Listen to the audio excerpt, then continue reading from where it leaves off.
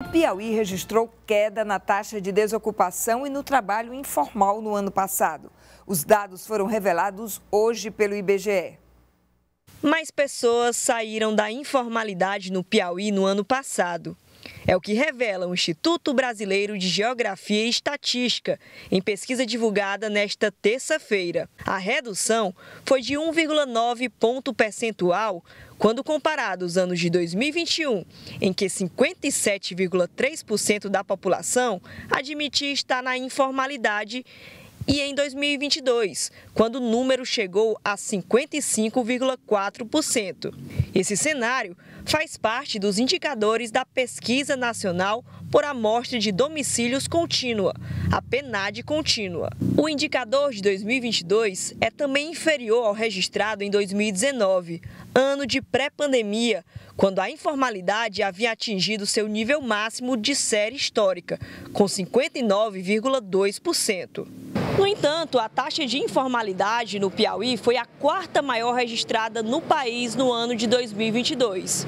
O estado só ficou atrás do Maranhão, Pará e Amazonas.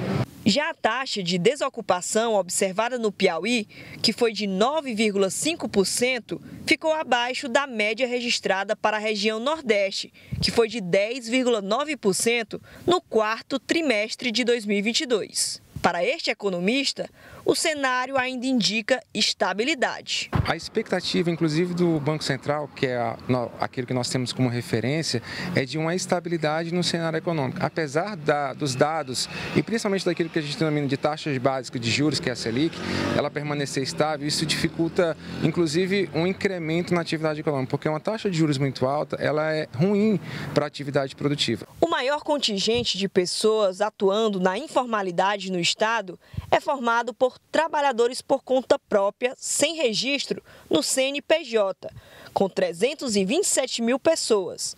Na sequência, as pessoas ocupadas no setor privado sem carteira assinada, com um total de 247 mil pessoas. Os trabalhadores domésticos sem carteira assinada chegam a 66 mil pessoas ocupadas.